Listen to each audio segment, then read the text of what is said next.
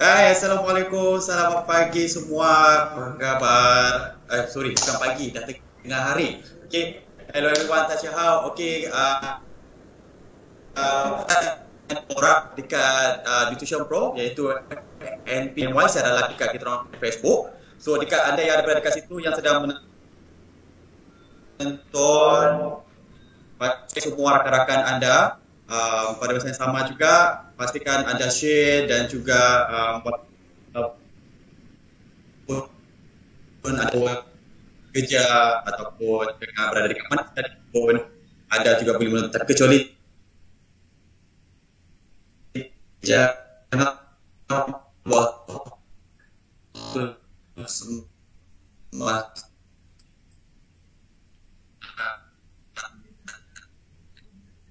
lagi. Kerana ada pelbagai video yang boleh dekat dalam dekat dalam video tu um, ada boleh cari macam mana cara nak workout, tips kanan, um, ada set time macam akan seri. So semua tips yang ada dekat situ yang buat yang bikin boleh take kat dalam tu juga. So um, di sini juga sebelum kita mulakan pastikan uh, di mana juga anda berada uh, pastikan anda sentiasa pakai mask, bawa sanitizer, uh, pastikan cara social dan patuhi uh, SOP yang telah ditetapkan. Seperti yang kita nampak uh, dalam keadaan anda semakin naik dan baru ini kita nampak uh, naik body orang positif dalam uh, COVID ini. So, pastikan anda jaga diri dan jaga kesihatan anda. Okay. So, ingat dalam dok yang tersebut. So, okay. Um, dalam hari ini, uh, kita dah jemput seseorang tetamu yang seperti kita ada nampak dan uh, sekarang ni. Alright. Itu dia, iaitu Firdaus Fuad. Okay. So, dia adalah tetamu kita yang pada hari ini di mana dia, beliau akan share uh, tentang uh, HPP badan, macam mana cara makanan, macam mana nak workout. Setiap orang mempunyai perbezaan daripada cara dan perbezaan dari segi kehidupan masa dia kita tak tahu. Okay. So, teruskan ikan anda yang sedang menonton ini teruskan share kepada semua orang tak jadi mana berbadan orang yang tengah menonton sebab malu berhati-hati. Okay. So, kat sini juga kita akan tahu sebagai masih yang kita buat. Okey. Alright, sebelum kita memasak, kita akan teruskan uh, dengan HFP Daus uh, untuk teruskan. Okey, sebelum uh, maybe uh, HFP Daus boleh perkenalkan diri. Saya percaya um, HFP Daus ada orang sendiri yang dah kenal tetapi mungkin ada yang dekat luar tu tak tahu siapa siapa Encik Firdaus. Siapa Encik Firdaus sebenarnya? Dia hanya tengok gambar saja. Okey, uh, assalamualaikum. Uh, selamat tengah hari. Uh, nama saya Firdaus bin Ahmad Muad. Uh, berumur 25 tahun, berasal dari Ipoh. Seorang atlet bina badan Perak, bekerja sebagai agent insurance uh, dan part time sebagai personal trainer. Uh. Okey umur 25 tahun Aha. muda lagi muda lagi okey so sebelum kita akan teruskan lagi um, seterusnya tentang latar belakang sebab sedikit tentang Firdaus mm-hmm. okey so dekat sini uh, maybe sebelum tu um, kita juga mungkin ingin tahu ataupun orang ingin tahu sebab sedikit tentang latar belakang pula Firdaus mm-hmm. um, apakah yang membuatkan Firdaus berminat dalam bidang badan okey saya sebenarnya um, minat bina badan ni dari kecil lagi. Dulu masa kecil-kecil ayah saya ni seorang kaki gym. So saya kadang-kadang bila mak saya tak ada, bapak saya selalu bawa saya pergi gym. Dia terpaksa bawa saya pergi gym lah. So dari kecil saya memang ada dengan komuniti gym ni. So dari situlah datangnya minat saya dalam bidang sukan bina badan ni. Ha. Oh, so waktu kecil tu daripada umur berapa lagi? Time tu saya 5-6 tahun memang ayahnya kadang-kadang tak siapa jaga saya dia bawa dia saya pergi gym saya pun main lah kat gym tu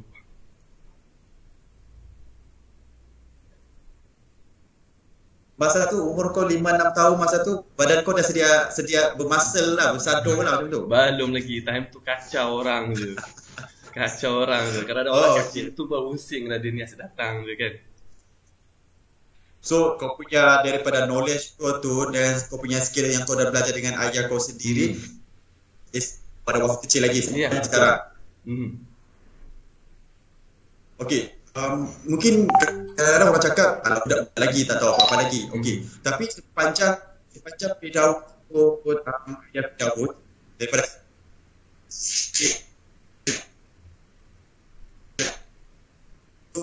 ya, pernah tentang um, macam mana berwakaf, mungkin kita kita tanya kenapa perlu berwakaf dan ini? Mhm. ataupun mungkin Firdaus pernah nampak ada yang terjadi seperti ini dan ayah Firdaus ada ajar. ya Uh, boleh ulang balik tak uh, Adam sebab tadi tak berapa jelas lah soalan dia sangat sangkut sikit. Okay. Ah. So, okay, macam uh, Firdaus dari start, start ikut ayah pergi dekat masjid Mhm. daripada kecil lagi. Mhm. Betul? Okay, mungkin dia tak ada waktu, waktu kecil tu sampailah sekarang mungkin Firdaus pada masa dia budak-budak, dia remaja, sampailah dia dewasa. So, Mhm. mungkin Firdaus ada ternampak um, benda yang terjadi dekat situ dan kita tanya benda tu terjadi dan apa yang perlu dibuat Mhm. uh, ataupun uh, mungkin Firdaus dekat situ banyak bertanya dengan ayah semua pasal benda Betul. Uh, semasa saya dekat gym ni bukan ayah je kadang-kadang kita tak perlu malu pun nak tanya soalan pada kawan-kawan ataupun orang yang lebih arif tentang gym ni.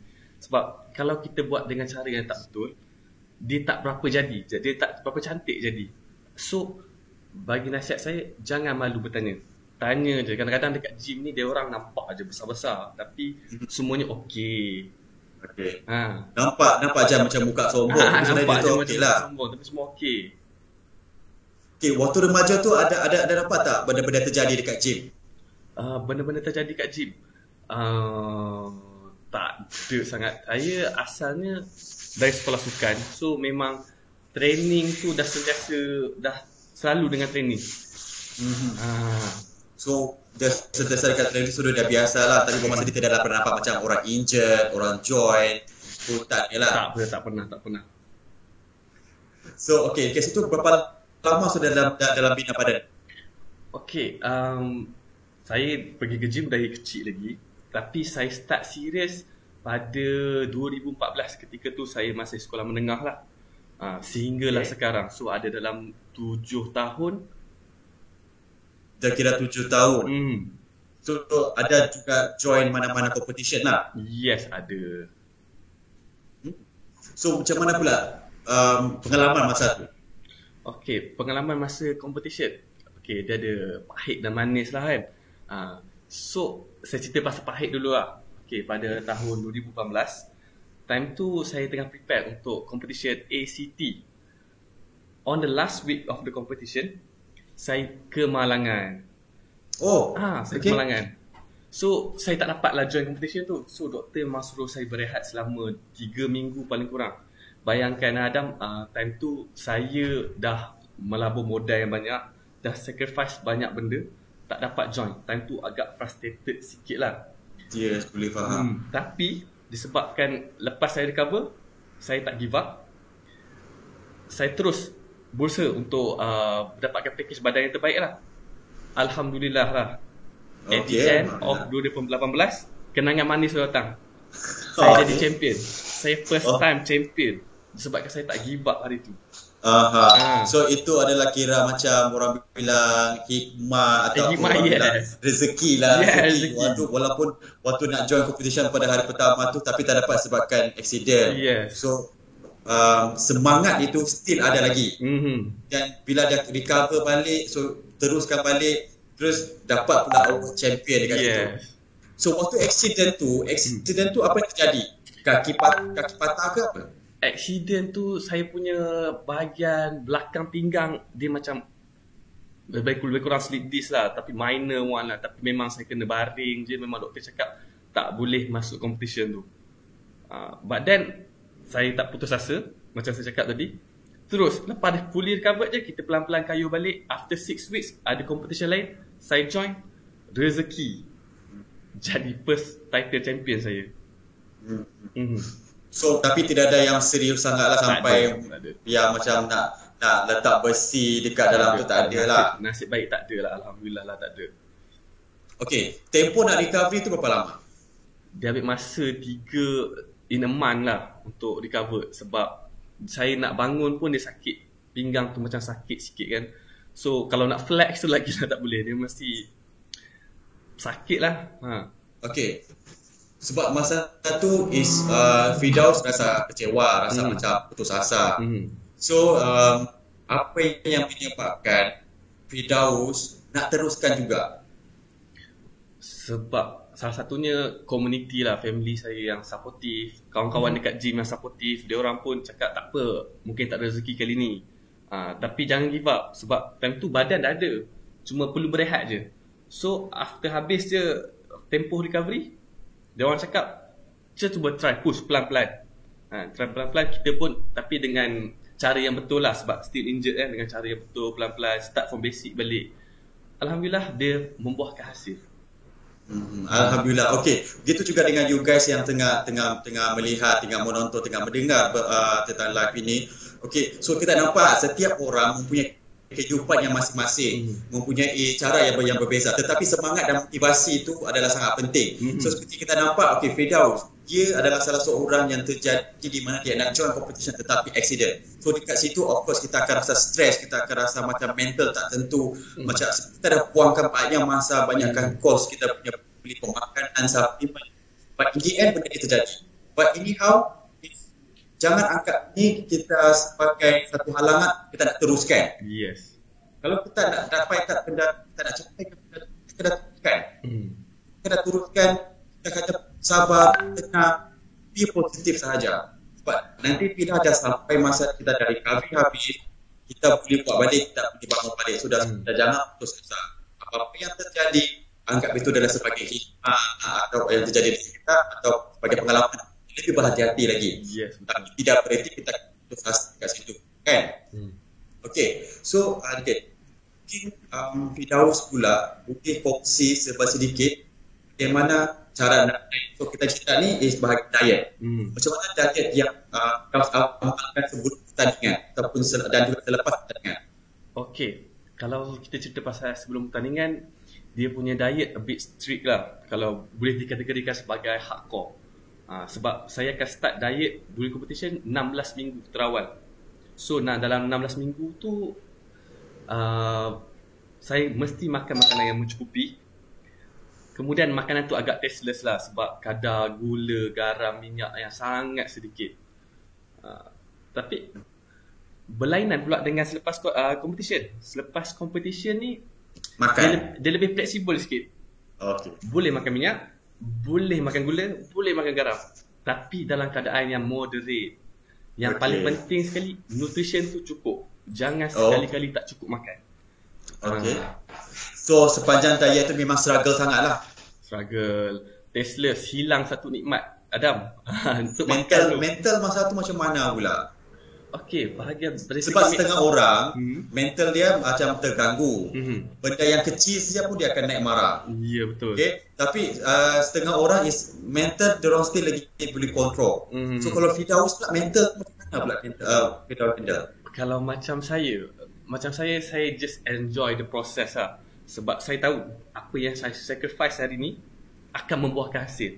Lagi banyak saya sacrifice, lagi banyak hasil yang saya akan dapat. Okay. Aha. So tidak kisah waktu tu uh, ada ada masalah ataupun ada orang buat hal, Firdaus still boleh control juga daripada segi Boleh. mental. Lah. Itu semua mental punya game lah. Kalau boleh mental Ah, stay strong, okay. boleh jadi. So dekat orang yang um, tengah on diet terutama yang um, nak weight dan ada yang terutama sekali orang yang uh, nak join competition sebab benda tu bukan senang. Hmm. Tapi bila yang penting kita kena pandai nak control kita punya segi mental. Yes. Kita akan cepat naik, cepat naik lagi sebab kita uh, tidak minum air masa tu. Yelah. Kita uh, dia boleh makan apa yang kita nak. Hmm. So dekat situ mental memang kita jaga. Yes, So kita kita terjaga tu kita kena kontrol. Uh, sebab hati-hati kadang-kadang bila kita akan pegang.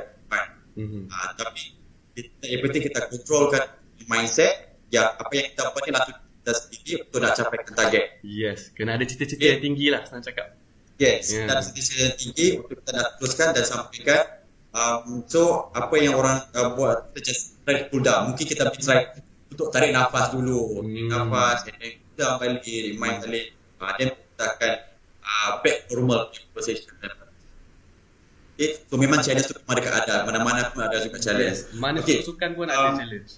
Yes. So yang penting kita kena pandai control dalam situasi tu. Okay. Alright. So dekat sini, pernahkah macam beritahu rasa putus asa ataupun sepanjang dalam dalam bidang ni dan macam mana pula uh, beritahu handle masa tu? Okay. Um, rasa nak give up ni sebenarnya banyak kali ada. Tak tambah-tambah during competition lah. Kita cerita pasal during competition memang stress lah. Tak dapat makan. Uh, lepas tu dengan penatnya lagi kan. Tapi macam saya cakap tadi, saya sentiasa letak satu mindset yang itu banyak mana saya sacrifice, dia akan mes- mesti akan buat membuah, membuahkan hasil. Lagi banyak saya sacrifice, lagi banyak hasil dia. And then macam mana saya counter stress stress tu kita kena bergaul lah. Kalau boleh duduk dengan komuniti yang sangat-sangat positif. Alhamdulillah saya dapat Betul. komuniti yang positif. Dia orang sentiasa supportive. Setiap, setiap kali saya meluahkan perasaan dia, dia orang mesti akan tak apa, it's okay. Tengok badan jadi kan, you buat ni jadi ha. Senang cakap komuniti penting lah, komuniti. Betul betul. Hmm. Sebab bagi orang kalau yang jangan rasa diri tu uh, berada dalam satu tempat berarti macam dia satu orang sahaja dalam Hmm. dalam tempat tu. Hmm. Um, kalau rasa diri tu tak kuat, tak boleh nak handle dan perlukan supportive, cari community ataupun cari member yang boleh boleh bagi support ataupun push. Yes. Okay. Tapi bila bila bila kita sentuh perkataan push, okay. bila kita push pula orang tu, sebab kita nak bantu dia, so kita akan push. Tapi jangan sampai diri itu menjadi satu obses macam terlampau stres sangat, terlampau obses satu benda, Mhm. asal salah saja uh, terus kira tak tersuara. Hmm, yes. Ah, kadang-kadang terlampau kuat sangat workout, uh, gara-gara nak capai benda tu, bila push, terus dia akan tak fikir daripada segi orang bilang keselamatan Hmm. keselamatan dia tentang kesihatan dia. So, setiap orang perlu ada supporter Hmm. dan kalau boleh pastikan ada community. Sebab yang inilah yang akan bantu bagi semangat. Sama ada orang bagi supporter, supporter yang um, dia faham kita pun tak, Hmm. tetapi at least kita merasa yang kita bukan seorang. Yes. kita ada orang yang boleh bantu kita support kita lagi. That is the most, most important lah kita dalam tu so kita pun tak rasa macam benda tu nak putus asa. Kita akan rasa macam yang kita keseorangan dan kita ada support. Kita ada backup. Dan sebab kita rasa lebih semangat untuk teruskan. Kan okay. So di sini um, uh, Firdaus pernah mengalami pencederaan serius ketika mel- melakukan sesi pelatihan. Selepas daripada recovery, kau mungkin waktu pelatihan masih lagi ada sakit atau Hmm. dah okey tapi tiba-tiba pada hari itu ada rasa macam jet ke apa macam mana. Okay. Dulu masa baru-baru nak start gym, saya selalu injured lah. Selalu sangat injured. Kadang-kadang, yelah main dia terseluh kat tangan lah. Sendi sini sakit, shoulder sakit kan. So, uh, pada satu hari tu, uh, saya jumpa seorang coach ni. Coach ni yang ajar saya macam mana nak elak injury ketika training. Okay, first sekali yang kita pel- uh, nak perlu untuk elak injury is warm up. Warm up ni sangat-sangat membantu untuk memanaskan badan kita untuk pergi uh, ke workout yang lebih intens. Kedua is form. Ha, form ni sangat penting lah. Form ni bukan saja untuk mengelakkan injury. Malah dia dah, kalau form salah, result dia pun tak cantik. So, yang mana yang tak tahu tu, silalah bertanya. Bertanya. Jangan malu bertanya lah. Bagi saya jangan malu bertanya. Sebab saya pun tak berapa ada coach sangat. Tapi saya bertanya pada ramai orang. Macam mana nak buat ni, macam mana nak buat tu. Berani untuk buat research. Senang cakap. Hmm. Hmm. Form tu apa pula? Sebab setengah orang tak, orang tak faham apa tu form. Form Kalau warm up, orang tahu. Tapi kalau macam form ni apa apa sebenarnya? teknik teknik workout. Contoh kalau kita kat gym kita main back kan. Ah, teknik main back macam mana? Dia punya form macam mana? Dari mana ke mana? Kita perlu rasa part bahagian otot yang mana. Ah, certain kadang-kadang orang main back dia tarik atas, dia angkat sampai bawah kan. Certain dia kadang target shoulder. Dia tak dapat pun dekat back. Ah, itulah dimaksudkan form. Untuk kalau orang yang yang macam kalau orang ni baru sejak berpula lah. Kalau Hmm. pula apa yang orang perlu buat dulu? Okay. Uh, baru nak mula, first thing is buat research lah. Kita tengok apa yang benda kita nak. Contoh, kalau goal dia orang nak nak lose fat. Sekarang kita ada teknologi, boleh Google saja macam mana nak nak lose fat. Kalau tak dah dah research, bertanya pula. Bertanya pada orang. Mm-hmm. And then baru kita buat latihan tu. Hmm. So dekat situ itu untuk orang yang beginner lah nak yeah. start dulu. Uh-huh. So kalau kalau seorang start beginner macam kau rasa patut tak orang yang beginner ni hmm. uh, um, baru sejak start tapi tiba-tiba terus angkat angkat yang yang berat-berat terus. Ha, itu yang boleh melibat meng, mengakibatkan injury. Ha, sebab uh, bila pernah, an- pernah pernah tak? Apa dia? Pernah tak dapat nampak orang yang macam tu? Banyak, ada banyak banyak banyak.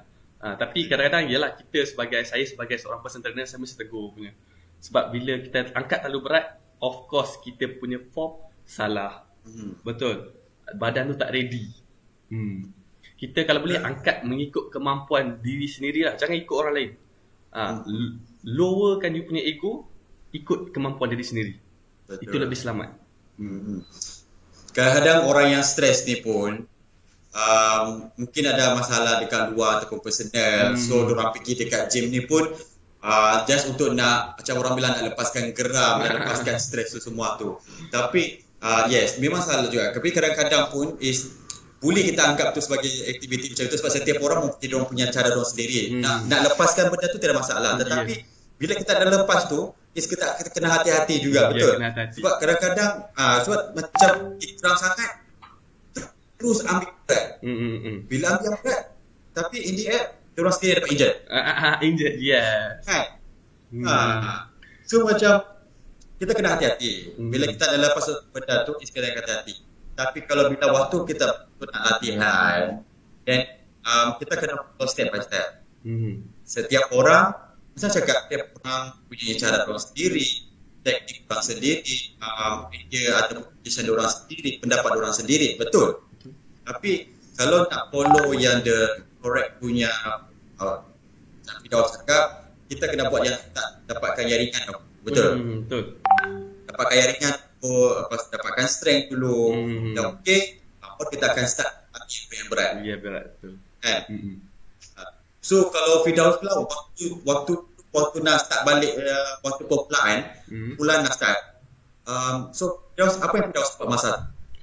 First kali saya akan uh, buat bodyweight training lah macam push up dulu Betul. Uh, pula hmm. itu yang paling penting sekali warm up lah regangan regangan sendi. Uh, sebab hmm. bila kadang-kadang sendi kita tak ready itu yang mengakibatkan injury. Uh, selalunya selalu most popular sekali injured main gym is sendi lah. Kita terselio sini. Betul. Uh, terselio sini. Uh, so kita kena kita lagi banyak pakai tangan. kan? Yes banyak pakai tangan. So paling penting sekali warm up. Angkat yang ringan-ringan dulu. Kita start from uh, weight yang small to moderate and then heavy Ha, ikut teratur lah. Kalau secara jujur, kalau macam Fidaus, hmm. waktu Fidaus start mula tu, uh, Fidaus start daripada apa tu?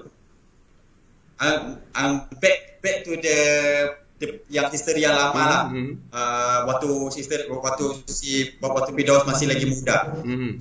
Baru dia start. Hmm. So waktu tu Fidaus angkat berapa berat? Berapa kg? saya alhamdulillah sebab ada ayah ni yang guide saya. Saya memang start ringan-ringan dulu. Start ringan-ringan dulu. Time kalau 18 dulu saya start dengan weight 7.5 5 tak apa. It's okay. Nampak ringan tak apa. Asalkan dia ada resistance je. Ha, kita rasa sakit tu means otot tu activity tu cantik. Ha, tak semestinya dia perlu angkat berat. Kadang-kadang kita angkat berat kita main bicep angkat berat shoulder yang sakit. Kenapa shoulder yang sakit? Sebab sendi tu dah tarik dah. Kan? Dah injured Ha, so ah, start yeah, dia ringan je. Hmm. hmm. Okay. Okay, betul lah. Memang kita akan start daripada ringan lah dulu lah. Hmm. hmm, hmm. Kena, jangan, jangan yang terus dari berat-berat. Kerana nanti kau belum bagi tahu kau punya, apa ni, um, kau, kamu punya um, strength sendiri. Hmm. Lepas tu tak tahu lagi macam mana, tiba-tiba kau sudah angkat. Uh, sila-sila sampai rumah, dah jalan terkangkang-kangkang. Yes. Nah. kalau kalau boleh kalau boleh try dululah. Angkat 5 kilo, ringan ke berat? Ringan ke berat? Oh, moderate. So, boleh angkat. Ha. ha. Kita try, ha. try, try, try, try. Try dulu. Hmm. Try dulu tengok macam mana. Kalau boleh, okey barulah kita akan ha. apakan lagi. Eh. Rasa, okay. rasa, rasa macam boleh um, upgrade, tak upgrade? Hmm. Okay. So dekat sini mungkin setengah orang ataupun setiap orang punya idola sendiri. Mhm. Kalau Firdaus lah, siapa pula idola Firdaus? Dalam kalau kita dalam arti kata lain, Mhm. uh, mereka idola ni yang memberi inspirasi Mhm. uh, untuk teruskan dalam bidang ni. Boleh, boleh kemungkinan jadi idola tu adalah ayah Firdaus sendiri. Hmm. Okey. Yang beri inspirasi pada saya is ayah saya lah. Dia lah yang motivate dan dia yang beri sokongan pada saya sehingga saya mampu berdiri kaki sendiri. Tetapi bila cerita pak idola, idola saya ia- ialah kebanggaan negara kita sendiri, Abang Sazali Samad. Ha, sebab sebab Oh. apa? Ha, sebab dia 10 kali champion. Untuk menjadi seorang champion susah. Tapi untuk mengekalkan title champion tu amat amat amat susah. Sebab tu dari dulu kecil pun kita selalu tengok dia dekat surat khabar kan. So memang dari dulu dia lah idola saya dari kecil. Ah, Hmm. Okey, cerita pula kalau bahagian cha- champion ni. Hmm. Okey. Kalau bahagian champion ni, uh, tapi saya tak pasti sama ada Firdaus masih boleh ingat ataupun tidak. hmm. Kalau nak dapatkan title champion, apa yang diorang tengok? Dari segi apa yang diorang tengok untuk dapatkan title champion? First is uh, dia punya quality otot lah. Quality otot, ketebalan. Lepas tu dia punya dryness. Lepas tu symmetry dia. Kan? Ketebalan, dia punya kekeringan dan dengan simetri dia. Ha, sebab itu semua main peranan. Sebab kalau kita tak cukup makan, kalau kita tak cukup makan, dia tak tebal. Kalau kita tak cukup uh, cardio atau uh, training uh, ni dia tak cukup kering.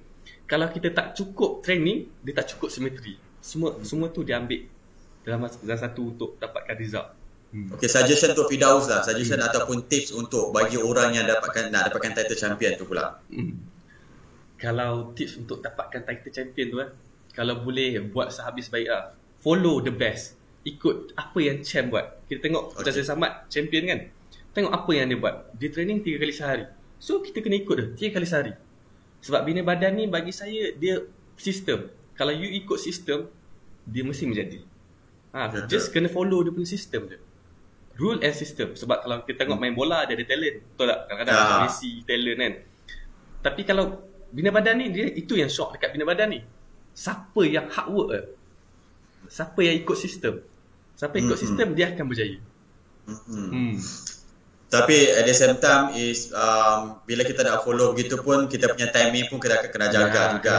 Hmm. Kita kena pandai atur macam mana kita nak uh, atur masa kita. Mungkin kita boleh fikir timeline tapi yang bagus dia orang yang bekerja yang sebelah dia gym saja. Hmm. Ah, bawa 5 minit sampai. 5 minit sampai. Tukar baju habis. Okey, bawa buka siap.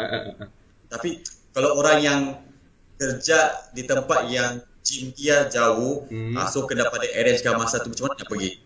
Kan? Hmm. That's the tips untuk ya kamu semua dapatkan title untuk champion pula. Hmm. Tapi memang masa tu memang agak struggle lah kan. Yeah, struggle, struggle, struggle. Haus, dia minum, Hmm, hmm, masa hmm. tu kena kering habis badan tu dan Yeah. berat. Hmm, hmm. Kan? Okey. So mungkin di situ juga um, Firdaus sebagai ejen insurans. Hmm. Okey. Soalan dia di sini pula um, macam mana pula Firdaus nak seimbangkan fitness life tu dengan kerjaya sendiri. Hmm. Okay. Kalau kita cerita pasal masa ni tak dinafikan lah. Memang susah lah sebenarnya nak jaga masa. Macam saya, saya seorang ejen insurans. Okay, pukul 8 saya dah ke office sehingga jam 5. Kemudian habis office saya dah siap pack-pack barang saya dalam bag. Saya terus shoot ke gym. Saya mulakan kerjaya kedua saya sebagai personal trainer. Sehinggalah jam 10 malam. So saya ada 2 jam je. 11, 12 untuk workout. Kalau nak ikutkan memang penat betul lah kan. Memang penat betul. Tapi saya suka satu pepatah Melayu ni dia kata nak seribu daya tak nak seribu dalih. Ah. Betul. So kalau you orang nak, you orang boleh buat. Mesti boleh buat. You just kena try dulu. Boleh buat ke tak boleh buat? Try dulu. Nak nak dapat macam tu first kena ada cita-cita yang tinggi lah. Cita-cita yang tinggi. Bila ada cita-cita tinggi ni baru kita nak buat. Kita ada goals. Kan? Kalau tak ada goals kita tak tahu apa nak buat. Tapi bila ada goals ni kita tahu apa nak buat. Oh aku nak pergi competition bulan 4 nanti. So ada lagi uh, 2 bulan. So kena buat apa? Ha, kena ada goals. Ha. Betul? Mm-hmm. So, okay, kalau guys nak cari insurans bolehlah cari Yeah, Firdaus boleh eh. cari saya. Ah, cari dia kalau mau cari insurans. So sekarang ni memang kita perlukan insurans juga pun. Yes, betul. Kena Dalam ada keadaan ni memang kita perlukan insurans. So kita, kalau nak ca- cari dengan Firdaus. Okay, so uh, bagi yang anda masih tengah menonton cerita ni ataupun dalam channel Bora ini, pastikan anda teruskan share kepada uh, semua rakan-rakan anda uh, iaitu kita orang punya Facebook at PMY atau boleh tengok secara live kita punya dekat YouTube channel iaitu Oh, dekat anda boleh tengok. Dekat, dekat, dekat YouTube channel tu pastikan ada tekan subscribe. Dan tekan butang lonceng update informasi anda akan dapat akan, akan, akan terima. So pada subscribe tekan like, komen dan kita share. Um, siapa-siapa yang mengajuk soalan? Kita hmm. pernah bagi soalan bila letakkan soalan itu dekat kita punya Facebook ya dekat MPMY letak uh, komen dekat situ itu dan kita akan um, letak kita akan bacakan soalan-soalan apa yang anda ingin tahu kita akan jawab dekat situ atau so sekarang ni kita akan mulakan um, jawab soalan untuk seketika ni kita akan continue lagi seterusnya punya soalan yang tak okay. so untuk soalan ni daripada um, saudara Julian Morena mm. okay. so kita grup NP dan siapa tak jemput doktor boleh je pun kalau kalau nak join dah kita punya grup pun boleh juga. Tidak maksud kita punya grup tu dia terbuka. Siapa-siapa pun boleh join.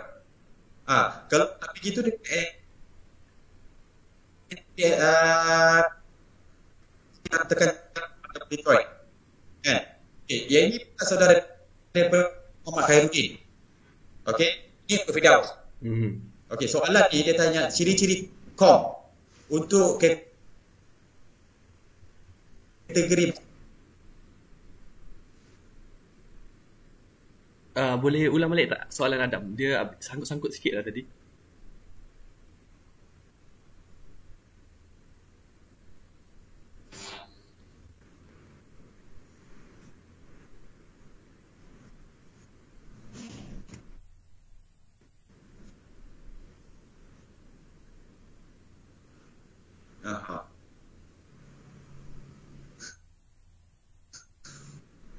Okay, saya rasa mungkin dekat situ kita punya line ada um, slow sikit.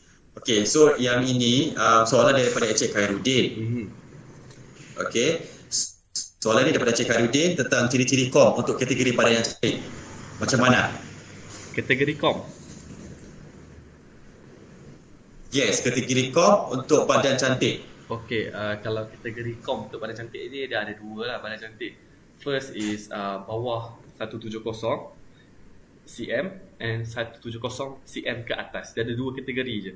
Uh, kalau macam uh, bina badan dia ikut berat. Kalau badan cantik ni dia ikut tinggi. Hmm. So itu adalah dia tengok daripada tengok situ lah ciri-ciri kom untuk badan cantik tu lah. Uh, uh, uh, uh. Okay, untuk advice Firdaus pula untuk dah dapatkan dah dapatkan ciri-ciri tu macam mana pula? Okay, nak dapatkan ciri-ciri tu. Okay, main fizik ni dia lebih, badan cantik ni dia lebih kepada estetik lah uh, dia bukan nak tebal sangat badan dia lebih pada estetik. Dia nak simetri. Kalau boleh badan you bentuk V. V. Uh, itulah ciri-ciri dia untuk badan cantik ni. Oh, okay. uh, bentuk V. Pinggang kecil atas besar. Uh. so kalau kalau Fidaus um, dalam sepanjang joint competition mm-hmm. uh, so far Fidaus ada join mana apa-apa punya kategori tak? Okay, saya sebelum masa 2017 saya start dengan bina badan actually uh, kategori junior. And then pada 2018 baru saya start masuk uh, badan cantik dan main fizik ni. Uh. so macam mana pula masa tu ke si Fidaus uh, apa ni? Fidaus buat workout macam mana? Makan waktu tu macam mana pula?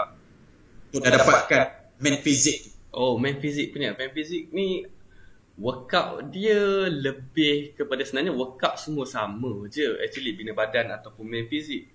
Cuma cari pemakanan tu.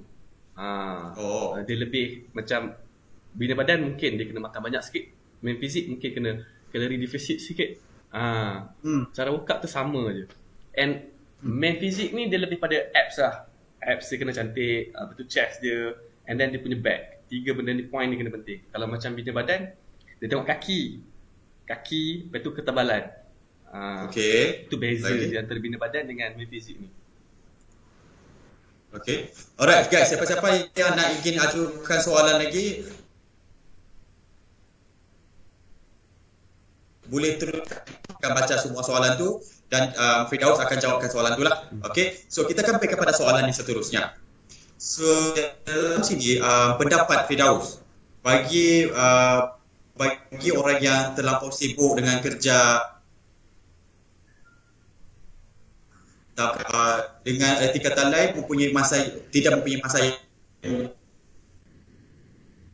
macam mana pula Firdaus nak um, ataupun pendapat untuk sharekan bagi dekat orang tentang uh, masa ni tentang kesihatan Oh, ketika masa kalau okay, kalau kita cerita bab kesihatan ni saya nak selitkan sikit lah pasal kerja saya sebagai sebagai agent insurans. So, kerja saya sebagai insurans ni, saya sentiasa berhadapan dengan orang yang sakit.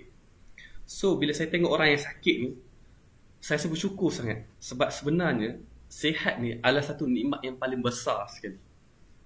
Sebab bila dah sakit, even though you ada duit, you tak boleh makan benda yang sedap. You tak boleh pergi berjalan-jalan. Tak guna pun duit banyak. Itu baru cerita pasal nikmat hidup hilang. Dengan kos rawatan yang tinggi lagi. Kalau ada insurans tu hilanglah sikit satu bebanan. Kan? Uh, so, bagi saya, uh, nasihat saya pada penonton luar sana jagalah kesihatan sebab kesihatan ni adalah adalah satu nikmat yang terbesar sebenarnya. Kalau you hilang nikmat sihat ni hilang semuanya. Tak ada guna pun ada duit, hmm. tak boleh buat apa. So paling kurang nak jaga kesihatan ni tak perlu pun pergi gym lama-lama berjam-jam. Kita boleh start dengan perkara yang kecil itu jaga pemakanan. Jaga pemakanan. And then pada masa yang sama ya jaga pemakanan hmm. and then uh, bila kita tidak ada masa bila kita terlalu sibuk bekerja betul hmm. kita bekerja untuk mencari rezeki yes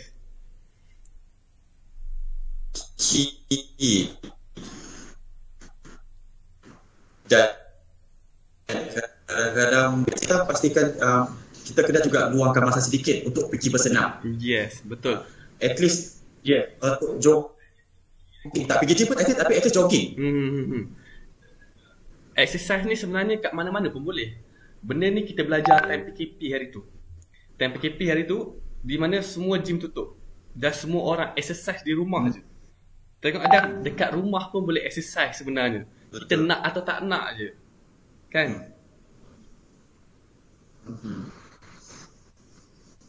Even though kalau macam uh, saya pun saya pun dekat saya, kalau saya pun saya dekat rumah je buat buat bersenam mm-hmm. uh, as long saya buat cardio semua tu ada dalam dalam so kalau kita makan tidur makan tidur rasa kalori naik yeah betul ha. kesihatan pun terabai habis hmm. Yes so okay um, ada ataupun tidak training training plan yang ada ataupun alternatif yang khas bagi orang yang suka nak pergi gym.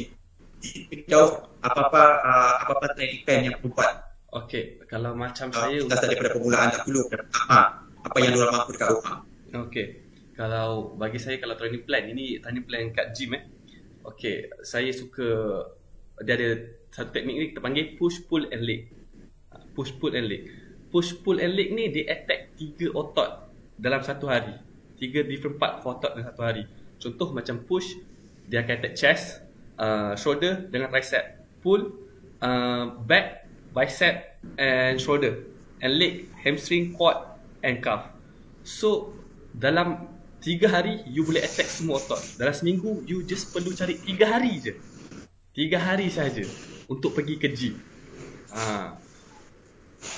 So, bagi saya, push, pull hmm. and uh, leg ni satu benda yang sesuai lah kalau contoh kalau kat rumah kita boleh je buat aktiviti seperti hit training uh, lepas tu skipping rope banyak exercise boleh search dekat YouTube je banyak exercise hit training hmm. Okay um, push and leg dia macam mana pula tapi tak tahulah kalau Firdaus di situ boleh kasih tunjuk ke tidak lah uh, Okay push and pull ni dia attack tiga different part of muscle kan contoh uh, macam saya main push dia attack chest first saya akan buat game chess lah. Saya akan buat empat, empat game of chess. Kemudian saya akan sambung dengan 3 game of shoulder and 2 game of tricep. Disebabkan dia attack otot yang lain-lain, kita boleh buat laju. Sebab contoh kalau kita main Oh. ah sebab kita main chest je, so chest tu sakit so kita akan rehat lama. Tapi kalau kita main Mhm. push pull ni, dia attack otot yang berlainan, so kita boleh pergi laju. Lepas habis chest terus balik shoulder. Shoulder tak sakit. Terus bantai shoulder. Lepas tu dah habis shoulder, boleh ter- betul terus bantai tricep. So dia tak perlukan rehat lama. Dia sangat sesuai lah kalau untuk orang-orang yang busy nak kejar masa ni kan.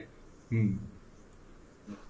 So kalau macam orang yang ada yang tak tahu apa tu uh, push and uh, lay, push and back. Hmm. So dekat situ is kamu boleh tengok dekat uh, YouTube channel kita orang dekat Nutrition Pro ataupun maybe maybe Firdaus ada share video cara-cara tu sebab kadang-kadang orang tak tahu Hmm. macam mana nak buat benda tu. Ah so kita cakap boleh tapi dia tak dapat macam nak imagine benda tu. Ha.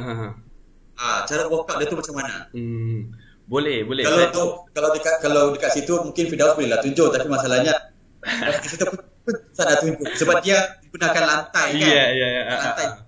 Dia paling kurang kena ada equipment lah. Ada equipment kat sini saya boleh tunjuk. Ah. So kalau tidak ada equipment, apa yang dia boleh buat? Okay, kalau tak ada equipment, boleh buat simple exercise je. Contoh macam push up.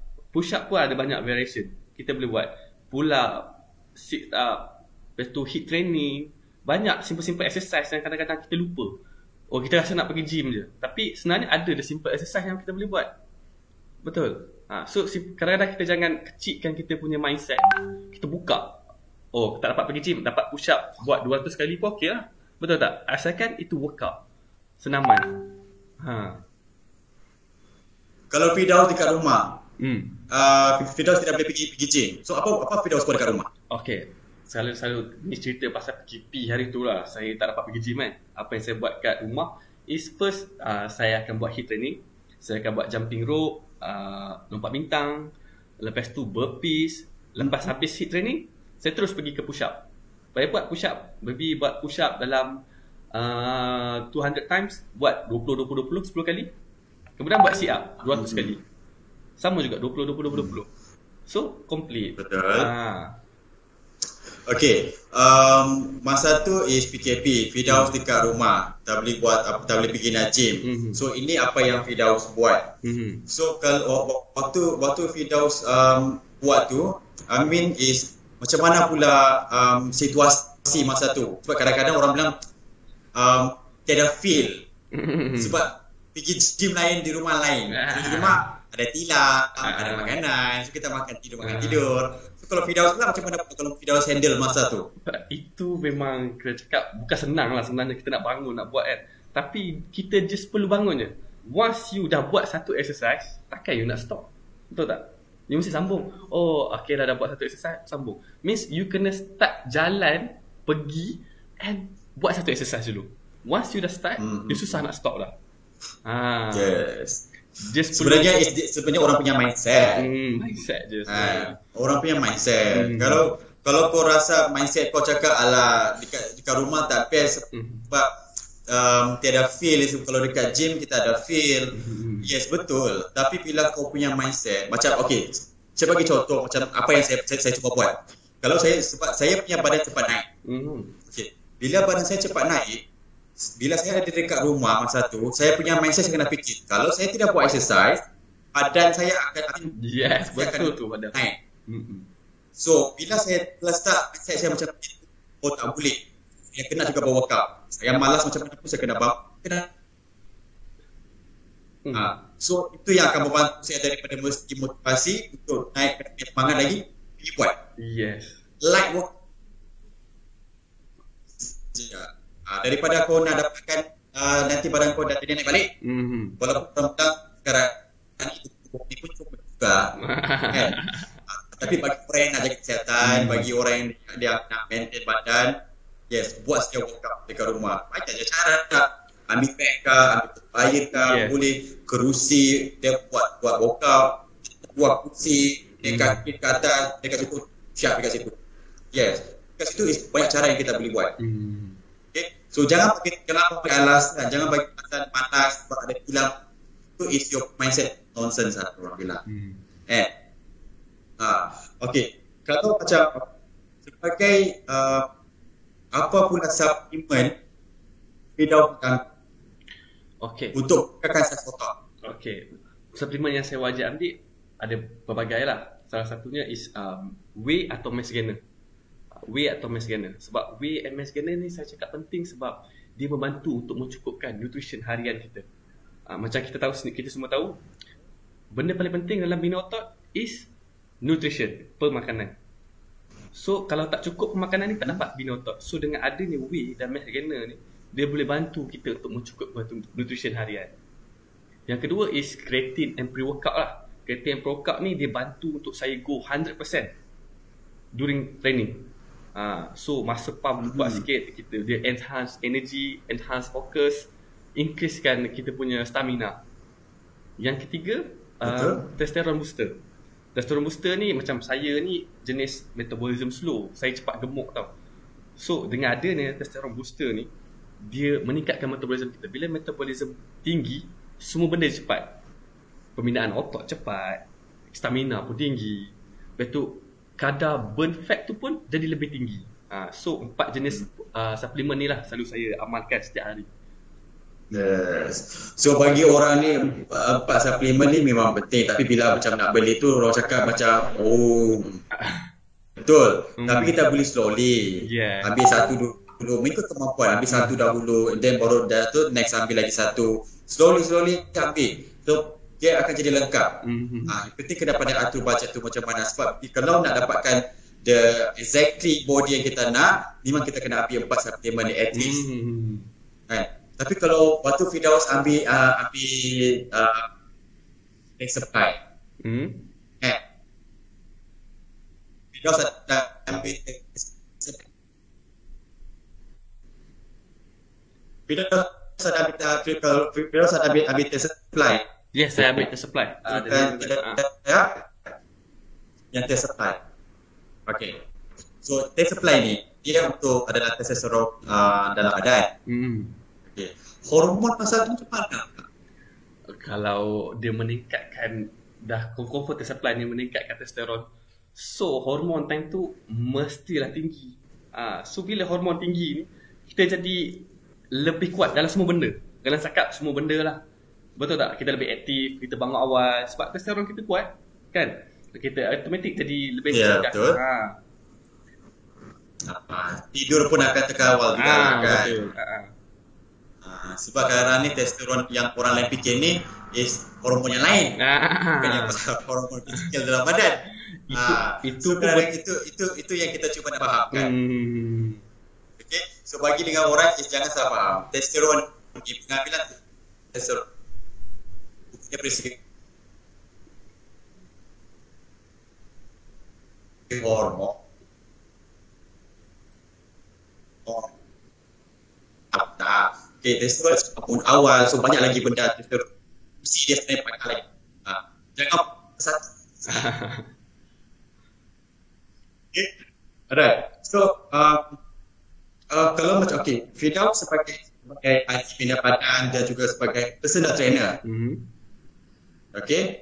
Okay. Um, mungkin um, Fidaus pernah dengar macam uh, ahli bina badan ini tidak membuat latihan kardio sebab tidak mem, uh, tidak tidak membakar otot. So kalau pakai uh, apa pula taksi? Okay. Betul atau ya. Bagi saya perkara ni ada betulnya dan ada tidaknya. Okay, macam kita semua tahu pemakanan yang paling penting. So bila korang semua cukup pemakanan, dia takkan membakar otot and cardio ni depends juga okay. on you korang punya body goals. Contoh malah macam nak bulking. So kalau kita nak bulking kita perlukan calorie surplus betul. So tidak perlulah cardio. Tapi kalau kita nak cutting, of course kita kena cardio sebab kita burn more fat. Ah, mm-hmm. so dia depends on body goal masing-masing lah. Tapi perkara yang paling penting pemakanan. Kalau you cukup makan, dia takkan burn otot. Takkan burn otot. Betul. Hmm. So kalau pemakanan dari segi apa pula? Kalau untuk otot, apa apa jenis pemakanan? Of course lah kalau macam uh, untuk otot kita perlukan protein yang cukup lah. Protein yang cukup. Uh, tengok pada workout juga. Kalau workout kita kita rasa workout kita oh hari ni workout teruk betul lah kan. So masuk pemakanan yang tinggi zat, carbs, uh, protein, uh, fiber, semua kena cukup kalau boleh. Hmm. Okey, kalau macam badan saya ni, badan saya ni masih ada lemak. Hmm. Terutama sekali bahagian perut dan juga pinggang. Hmm. Okey, tapi kalau yang lain-lain ni dah okey sikit lah. Mhm. Just kena maintainkan sejat dan kena keep going. Tapi untuk nak hilangkan lemak dekat perut dan juga pinggang, apa yang saya perlu buat? Okay, first first jaga makan lah. Kemudian you kena ada workout. Workout contoh, tak kisahlah workout macam mana pun, workout weightlifting. Ha, weightlifting. Kemudian cardio, tiga ni. First, makanan kena jaga, kurangkan minyak, kurangkan gula. Paling penting dua ni lah, minyak dan gula. Avoid, kalau boleh tolak tepi. Kemudian kena ada weightlifting. Kemudian last sekali baru kita selitkan cardio uh, untuk burn more fat. Uh. Hmm. Sebab kalau minyak, minyak dengan gula ni memang saya dah cut habis lah. Hmm. Okay, memang dah cut habis. Cuma macam saya punya badan ni jenis yang lambat sangat nak dapat nak dapatkan result. Hmm. Uh, so kalau macam chest, yes yes chest. Uh, kalau macam bicep dengan tricep saya ada. Uh, chest pun nampak. Cuma yang tu lah cakap macam perut dengan pinggang tu saja. Nak dapatkan dia punya shape tu susah sikit. Hmm. Berapa lama tu kalau biasanya? Okay. Paling minimum untuk dapatkan satu result is 2 bulan. You kena konsisten 2 bulan. Dalam masa 2 bulan baru you akan dapat result. Dia takkan benda ni takkan jadi seminggu 2 minggu. Dia ambil masa, dia take time. Tapi kalau you konsisten, you betul-betul jaga 2 bulan saya janji mesti result tu akan dapat. Mesti nampak ke result 2 bulan. So saya so saya saya, saya hanya banyakkan makan protein sahajalah kurangkan carbs. Carbs terpulang kalau macam contoh uh, Adam nak hilangkan bahagian perut kan. So Adam nak burn more fat. So Adam perlukan calorie deficit. Calorie deficit protein mesti kena cukup. Carbs ni ikut. Kalau contoh macam Adam nak kurang kurangkan lemak di bahagian perut. So kita ambil dalam keadaan yang moderate. Bukan tak ambil langsung ya. Keadaan yang moderate. Hmm. Kadang yang moderate sahajalah. Hmm, hmm, hmm. Um, apa kalau macam saya uh, untuk saya nak hilangkan tu apa uh, jenis workout yang saya perlu buat? First, nak hilangkan bahagian perut lah. Ah, okay. Macam uh, kita cakap tadi, first workout, kita weightlifting. Lepas tu kita boleh buat exercise perut. Exercise perut ada banyak jenis. Kita ada leg raise, sit up, lepas tu uh, knee raise kan. Uh, exercise perut. Lepas tu kena cardio. Cardio benda yang wajib lah kalau nak burn fat kat situ. Hmm.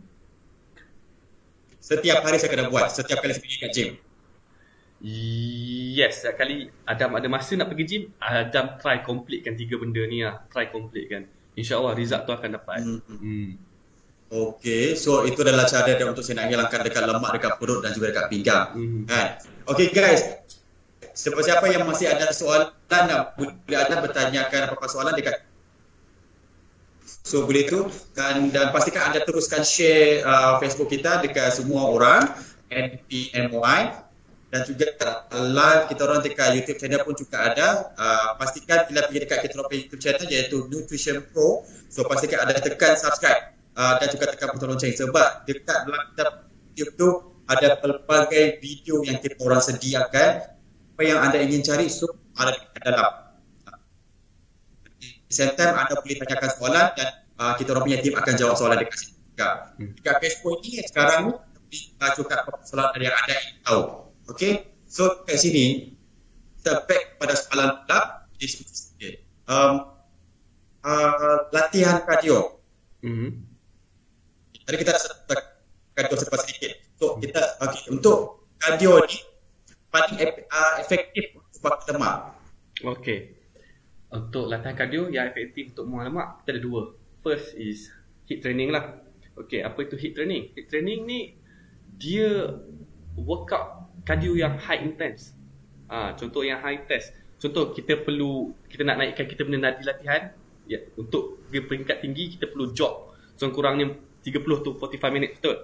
Hmm? Tapi dengan ada HIIT training ni dalam dia boleh meningkatkan nadi latihan kita dalam masa yang sangat singkat. Ah, ha, lima kita punya training jog di 30 to 45 minutes kita boleh singkatkan ke 15 minutes dengan dia akan burn fat yang sama. Ah, ha, itu HIIT training. Kemudian kedua kita ada list atau okay. kita panggil, atau kita panggil low style intensity training. Ah, list ni dia exercise okay. yang selalu kita tengok ah. Macam basikal, jogging, hiking, berenang. Dan list ni training ni sesuai untuk orang yang baru nak start workout, baru nak start. Beginner lah senang cakap. Hmm. So itu adalah cara-cara workout yang untuk paling efektif bakarkan lemak. Hmm. Okay. okay. Kadang-kadang bagi orang yang macam yang agak malas sikit, hmm. kalau macam tak nak angkat berat, pergi swimming. Ya, pergi swimming. Swimming pun akan patut pakai lemak. Yeah. Dia memang air, tapi hmm. bila kau sebab swimming ni kita akan menggunakan satu kita punya energi satu badan.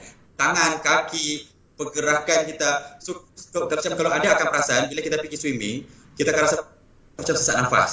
Hmm, hmm. Sebab kita banyak bergerak. Sebab kita melawan melawan melawan um, air itu. Hmm, hmm, hmm. Itu pun akan bantu segi untuk pakai lemak. Okay, so itu adalah satu. Kalau tak nak hiking, tak nak pergi anu, pergi pergi gym, pergi dekat sini. Atau pergi kat sungai. Sungai lagi better sebab kau melawan air. ha, so, kau kamu gunakan banyak energi lagi untuk kau dapat. Kan? Okay. So dekat sini, uh, untuk sebagai kebanyakan ahli bina badan hmm. okay, yang profesional orang akan terus sekali macam menawarkan macam personal trainer okay, personal trainer kalau Firdaus um, apa perkhidmatan yang Firdaus sediakan Okay, macam saya cakap pada awal tangan tadi saya seorang personal trainer part time uh, di waktu malam ni lah so saya memang menyediakan khidmat personal trainer ni uh, so kalau yang mana penonton luar sana hmm. nak mencari khidmat personal trainer yang bagus boleh cari saya ha, saya cuba yang terbaik lah untuk bantu. Hmm. So Fidas ada juga lah sediakan schedule pemakanan, yeah. workout. Saya akan jaga you orang punya pemakanan 24 hours. You orang boleh WhatsApp saya atau tanya saya nak makan apa, tak tahu nak makan apa, terus boleh WhatsApp saya. Saya akan sediakan e-book workout and diet plan. Dan you punya workout dekat gym, saya akan one to one. Saya akan tengok, saya akan jaga. Okay. Hmm. Tapi uh, sekarang ni dah ada berapa orang uh, Fidaus ada ke klien? Setakat ni sebab saya buat ni sebagai part time je. Setakat ni ada baru ada tiga. Ha. Sebab slot tu sangat terhad lah sebab saya ambil uh, dalam waktu yang singkat je saya kerja sebagai personal trainer ni. So ada tiga slot saja. Hmm. Hmm. Yelah sebab masa pun uh, kerja lagi nak jumpa customer lagi hmm. so banyak pula tu. Hmm. Uh, that's why kadang-kadang masa tu dia akan terhad. Hmm. Uh, tapi gym pun still bukan sampai jam 12 yes. yes. Itu pun kalau orang tu dapat datang waktu malam. Hmm, hmm, hmm. Kan? Tapi itu bukan sebagai halangan. Kalau kita nak dapatkan target tu kita akan teruskan. Hmm. Betul kan? Okay. Uh, feedback. Feedback yang yang orang pernah dilatih oleh, uh, oleh anda sebelum ni. Hmm. Klien lah tiga orang kan? Hmm. hmm, hmm. Okay. So, apa feedback orang tentang, tentang feedback?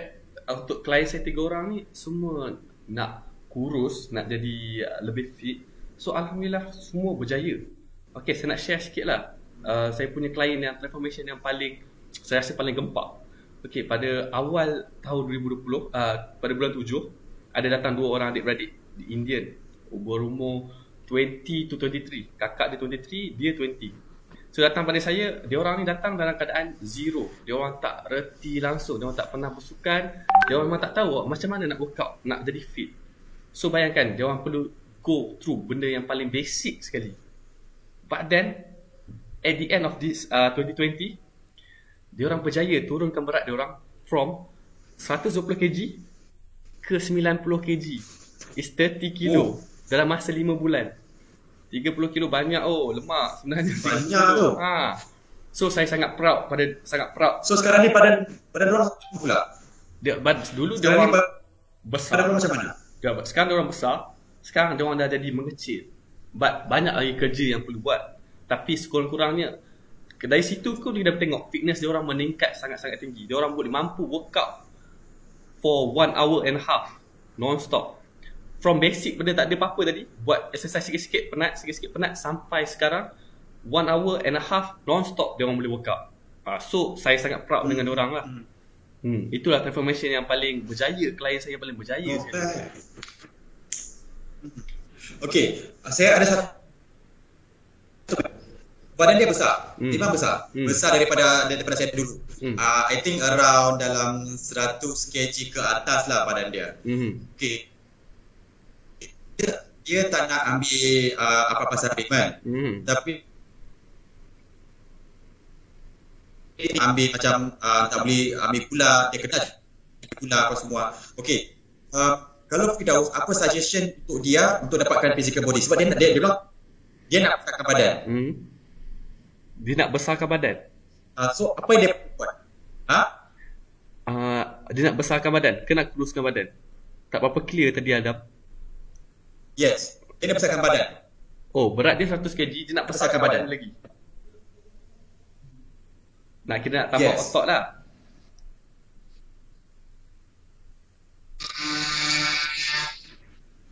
Ya. Sebab kadang macam uh, saya nampak orang dekat gym Hmm. Badan dia badan dia sudah sedia besar. Uh-huh. Okey. Tapi dia tidak dia macam nak lose weight. Hmm. Dia nak dia nak tambah dia otot saja. nak lose weight. Yes. Ah, oh, okay. Kalau macam tu, first proses untuk bina otot is pemakanan. First, you kena jaga pemakanan. You nak besar lagi kalau boleh. Kita naklah jadi besar yang like betul-betul tak boleh bergerak punya. Kalau boleh kita nak jadi besar yang ber- aktif, betul? Eh, Besar yang fit. So, besar yang fit ni, diorang makan banyak but clean. Bukannya makan like KFC, fast food, bukan. Diorang makan natural food. Kalau boleh ayam, ayam bakar, but in quantity yang sangat banyak. Kalau boleh makan 5 kali sehari. Of course you akan besar. Betul tak? Kalau you makan 5 kali sehari for 2 months, of course you akan besar, betul? Ha, so bila kita pemakanan kita sihat, automatik kita akan jadi aktif. Kita akan jadi sihat. Kita akan mampu bergerak sana sini sebab makanan kita sihat. Hmm. So untuk So which means banyakkan ambil protein lah. Yes, banyak ambil protein. Bukan protein je. Protein like nasi. Nasi is good carbs actually. Dia sumber tenaga yang terbaik lah bagi saya. Ah, apa tu? Sayur-sayuran. Makan banyak benda macam tu. Kalau boleh kalori surplus. Contoh kalau macam contoh uh, badan saya perlukan standard 2500. So saya nak besarkan badan saya lagi ke contoh 100 kilo. Mesti saya kena ambil kalori yang lebih. Saya kena ambil lebih 1000. 3500 untuk ke 100 kilo. Ha. Untuk bahagian kalori ni macam mana kadang-kadang orang macam mana saya nak kira kalori ni. So bagi saya mudah korang boleh download Fitness Pal dekat phone. Fitness Pal ni amat-amat membantu lah untuk kita kira kalori harian kita. Ha. So bagi orang yang dah sedia gemuk tapi tapi nak uh, oh, itu adalah cara dia. Hmm. Bukan jaga jaga pemakanan, contoh pemakanan, ambil banyakkan pemakanan protein, Hmm. uh, carb tapi orang bilang is uh, kurangkan ambilan minyak dan gula. Kalau Ah, fizikal. yes. Itu Dapatkan physical um, buat buat cara yang penting kau punya mindset and mental kau kena kuat. Hmm. Ha, nak capai kau kena buat. And he- heavy heavy workout tu yes kena buat Yeah. pada waktu tu. Hmm. So um, perancangan perancangan Firdaus uh, pada masa dalam dalam ini um, apa kira ataupun perancangan Firdaus pada masa akan datang. Okey, perancangan saya pada masa, masa akan datang kalau boleh saya nak jadi seorang yang profesional lah dalam bidang sukan bina badan ni dalam kategori main fizik. Kalau boleh saya nak pergi ke pe- peringkat tertinggi. Dan kalau boleh saya nak jadi champion di peringkat tertinggi tu. Ha, itulah saya punya cita-cita lah sebenarnya dari dulu lagi. Ha. Ada perancangan tak dalam tahun ini istilah mengizinkan Firdaus join tak pertandingan tahun ni? Kalau ada pertandingan, of course saya akan join. Saya ni jenis tak boleh tengok pertandingan. Kalau saya nak nampak je pertandingan, saya nak try. Ah, saya nak try. Tengok saya kat tahap mana. Betul tak? Kita dengan pertandingan je kita boleh tahu kita punya level kat mana. Ah, and then bila ada pertandingan ni, kita ada goals baru. Ah, bila ada goals baru tu, baru kita semangat sikit nak buat main gym ni kan, bina otot ni. Ah, kalau ada, of course saya akan masuk. Hmm. Mesti nampak muka saya. Hmm. Hmm. Okay. Dah stand, sebab Firdaus pun dah sudah, sudah standby lah. Ah, sudah standby. Okay. Ini um, akan ada ada lagi dua soalan. Mhm. Okay. Yang ini adalah nasihat daripada Firdaus sendiri. Um, ap- apa apa nasihat Firdaus bagi orang yang menonton ataupun penonton yang tengah menonton ni yang dekat luar sana yang baru sahaja untuk berjinak dalam bidang ni. Uh, mungkin Firdaus ada tips-tips untuk bagi tahu dekat orang. Okey, untuk penonton di luar sana, saya menasihatkan uh, supaya uh, gym ni ada satu benda yang seronok sebenarnya dan banyak kebaikan dia. Kebaikan dia dari segi luaran maupun dalaman. Korang akan berterima kasih pada tahun pada ta, uh, tahun 10 tahun akan datang dengan apa atas usaha korang sekarang. Ha, bila sebab kita sihat, kita akan sentiasa nampak muda sebenarnya. Betul tak? Kita sihat, kita aktif. Mhm. Ha, korang akan berterima kasih. Kepada yang betul-betul serius nak membina otot, first sekali korang kena tengok makanan korang, korang kena tengok korang punya workout. Jangan malu-malu untuk bertanya atau buat research. Sebab kadang-kadang daripada kita bazirkan waktu kita buat benda yang salah, baik kita bertanya dan buat benda yang betul. Ha, itulah Betul. nasihat saya kepada penonton di luar sana. Ha. So dekat sini juga bila bagi orang yang baru saja berkecimpung dalam bidang ini ataupun baru saja nak berjinak so bila kamu sedang uh, mendapatkan pendapat dan membuat research Hmm. uh, um, sini yang saya nak please share dekat situ jangan merasa diri tu macam orang bilang bangga sangat I mean bangga dari segi macam yang kamu tahulah semua benda Nah. apa yang orang share kamu rasa tak betul. So jangan. Kita jangan berlagak sombong. Okay? Jangan berlagak sombong. Kita just be orang rendahkan diri. Sebab setiap orang punya pendapat punya jimat dan beza. So apa yang orang share, apa yang orang uh, is jangan orang yang segan ataupun uh, orang tak untuk share. Hmm. Kadang-kadang apa yang kita baca tu tak semestinya betul sebab uh, dia punya badan tak dengan badan apa yang orang share. Hmm. So kita banyak akan bertanya, banyak akan buat research. So kita share, jangan jangan sombong cakap. Eh, Hmm. okey. Untuk orang nak cari jauh, macam mana pula orang nak nak dapatkan perkhidmatan uh, Firdaus? Okey, kalau nak cari saya boleh cari saya di Instagram. Uh, Instagram saya Firdaus F I R D A U Z underscore Fuad F U A D. Di Facebook Firdaus F I R D A U Z F U A D Fuad. Atau boleh terus WhatsApp saya ke nombor uh, 016 902 8342. Okey. Panjang kau punya Instagram punya nama tu. Pendek kan uh, bagi orang dapat nombor telefon ni, Hmm. ni uh, kontak pasal workout saja tau. Pasal dengan cara makanan.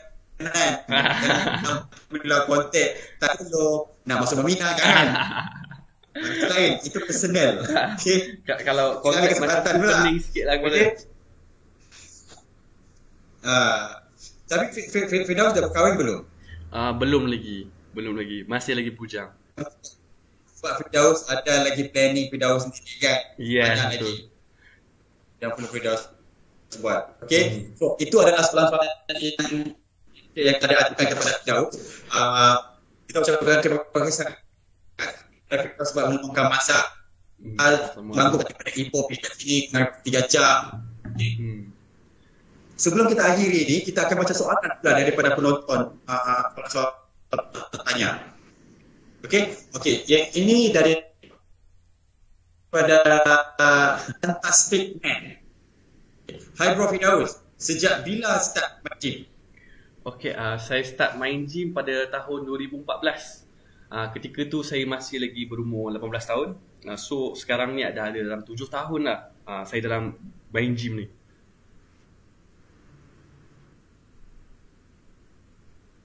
Okay.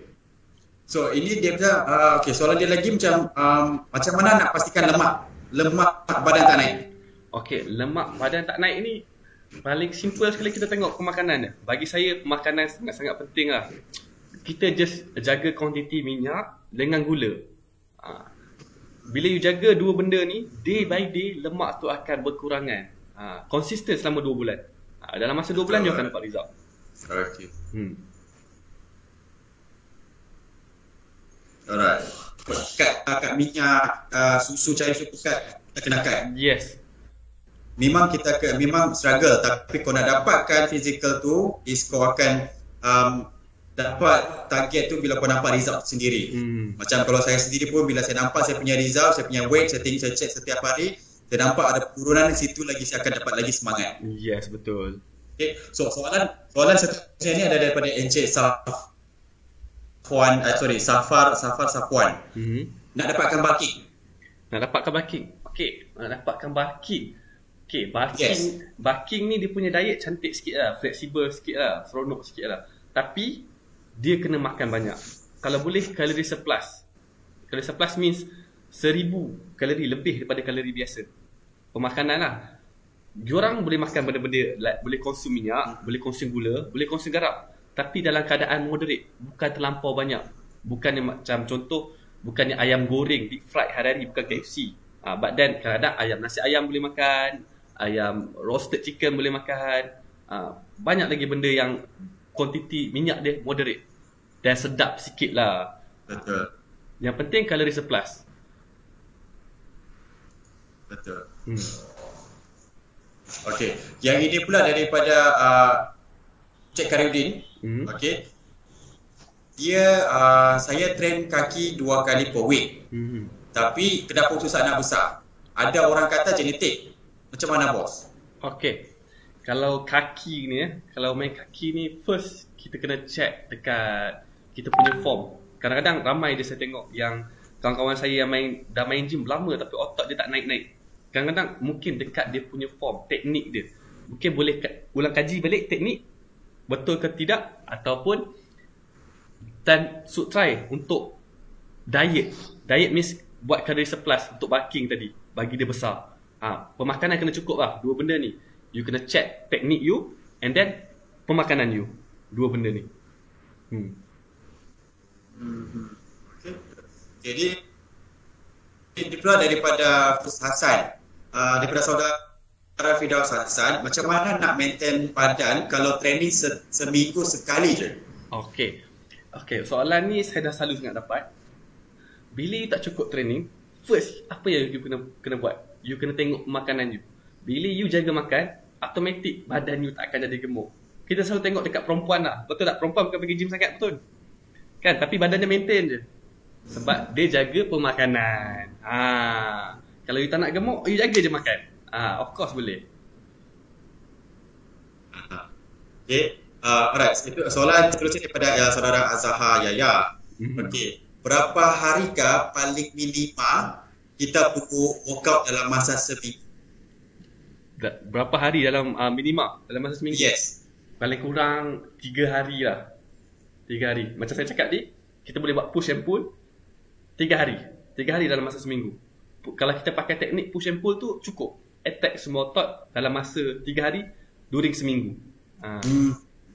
So cukup itu cuma minimal 3 hari saja lah. 3 hari saja Minimal 3 hari Kalau nak jadilah ha. Mm-hmm. Okay. Alright. Thank you so much guys sebab uh, so, kebukakan soalan tu uh, dan keep support dan watching kita uh, di sini juga sebelum kita mengakhiri di sini juga saya ingin memohon maaf jika jika ada sebarang keadaan line itu tak berapa lancar uh, situ kita memohon maaf. Uh, insyaAllah akan datang uh, benda ni akan lebih lancar selepas ni lah. Tidak akan ada sebarang gangguan. Okay so pada masa yang sama juga kita ingin mengucapkan terima kasih kepada penonton yang terus menonton dan bagi support dan terus stay bersama dengan kami. So pastikan um, ada terus like kita orang punya DIY tersebut sebab kadang-kadang apa apa update ataupun info, informasi atau promotion kita update kat dalam kita punya Facebook. Okay, akan dapat. At the same time anda juga boleh join community dekat Malaysia Pro terbuka kepada semua orang. Diorang boleh join dekat situ. Type saya dekat kita punya NP, uh, NPC akan nampak dekat situ anda boleh join dekat situ. Sebarang anda ingin bertanya dan dapatkan fungsi potai-potai yang ada pengalaman post dekat situ dan bertanya. Jika dapat sebarang negatif, pedulikan. Setiap orang tidak sempurna. Kita akan start pada awal. Tidak ada yang akhir terus menjadi sempurna. Tidak ada. So kita akan aturkan siapa masalah sama ada soalan sama atau kita yang akan bertanya de- de- dekat komuniti secara membantu anda. Okay. Jangan lupa juga teruskan um, subscribe kita punya YouTube channel iaitu Nutrition Pro. Dekat situ akan dapat berbagai video ataupun tips yang anda ingin tahu dan nak dapatkan segala uh, info lebih dan dekat itu. Apa pun, ucapkan terima kasih kepada Firdaus sebab datang dan meluangkan masa dan share uh, kita dengan informasi kita juga tetap kita belakang tentang Fidaus kita ucapkan terima kasih dan kepada dekat situ ketika ada sentiasa keselamatan ketika ada sentiasa pakai mask bawa sanitizer penjara sosial dan SOP yang telah ditetapkan ingat yang tersayang. Pastikan anda ada dalam keadaan yang sihat. Okey? Apa-apa kita kembali pada minggu depan hari yang amat dekat dan siapa kita tahu seterusnya kita akan tetapi uh, pada ini juga pada hari Isnin. Kita tahu semoga kita akan berjumpa lagi. Ke diri anda. Right so jumpa lagi guys. Assalamualaikum Kita tengah